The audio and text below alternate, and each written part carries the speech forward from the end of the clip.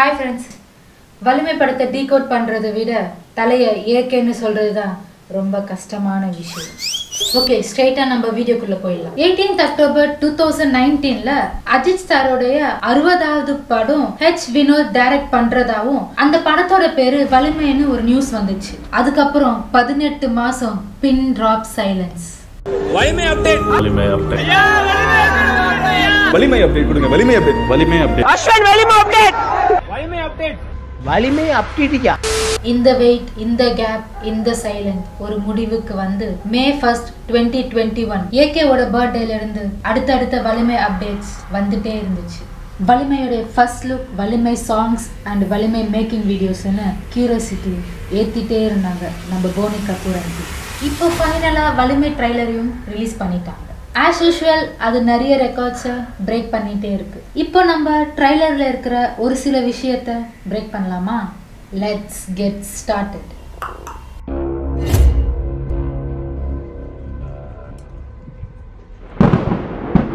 First விஷயம் Valimai ட்ரைலருடைய duration three minutes and five second இது ரொம்பவே ஒரு லென்த்தியான ட்ரைலர் தான். இந்த ட்ரைலர் மூலமா படத்தோட ஸ்டன்ஸ் படத்தோடைய ஸ்டோரி வில்லன் ஸ்கோப் ஏகேவோடைய ரோல் எல்லாமே ரிவீல் பண்ணிட்டாங்க. ஃபர்ஸ்ட் ஏகேன்னு என்னால் இந்த வீடியோ ஃபுல்லாக சொல்ல முடியல.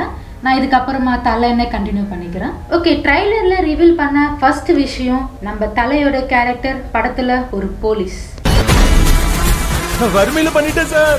ஏழையா இருந்து உழைச்சு சாப்பிட்ற எல்லாரையும் கேவலப்படுத்தாத. டென் இயர்ஸா கண்டுபிடிக்க முடியாத ஒரு கேஸை டென் டேஸ்ல கண்டுபிடிக்கிறாருன்னு ட்ரைலர்ல சொல்றாங்க. ஸோ படத்துல ஏதோ ஒரு பெரிய கிரைம் சீன் இருக்கு.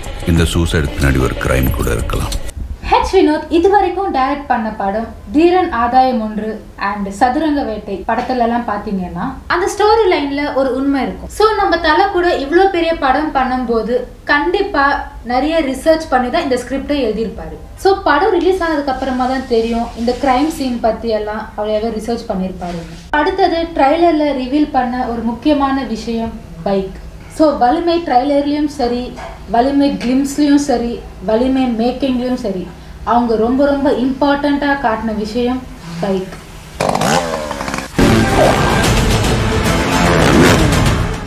ஸோ படத்துடைய வில்லன் ஒரு பைக் ரேசர் ஸோ இது ஒரு பைக் ரிலேட்டட் கிரைம் படமாக இருக்க நிறையவே வாய்ப்புகள் இருக்குது ஸோ வலிமை ஒரு போலீஸுக்கும் ஒரு கிரைம் பண்ணுற பைக் ரேசருக்கும் நடுவில் இருக்கிற ஒரு ஸ்டோரி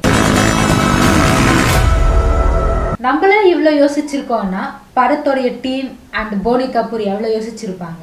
ஸோ இதெல்லாம் தெரிஞ்சுதான் படத்துடைய டீம் ட்ரைலர்லேயே இந்த ஸ்டோரியை ரிவீல் பண்ணியிருக்காங்க. நம்ம கெஸ் பண்ண ஸ்டோரி டோட்டலாகவே மாற நிறையவே சான்சஸ் இருக்கு. ஸோ அதெல்லாம் ஓரமாக வச்சிடலாம். படத்தில் நம்ம எல்லாருக்குமே பிடிச்ச முக்கியமான ஒரு விஷயம் இருக்கு. தலையோடைய பைக் சேசிங் சீன் ஸ்டன்ஸ் இதெல்லாமே தான். அந்த சீன்ஸ் எல்லாம் பார்க்கும்போது என்ன மனுஷன் இவரு அப்படின்ற மாதிரி இருந்துச்சு.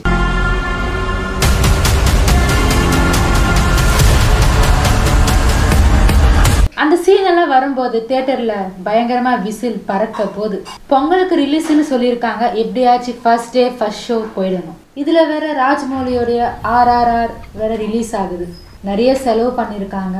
இருந்தாலும் பாகுபலியை விட ஆயிரத்தில் ஒரு படம் தான் எனக்கு ரொம்ப பிடிக்கும். ராஜ்மௌலியோடைய ஆர்ஆர்ஆர் விட நான் வலிமைக்கு தான் வெயிட்டிங்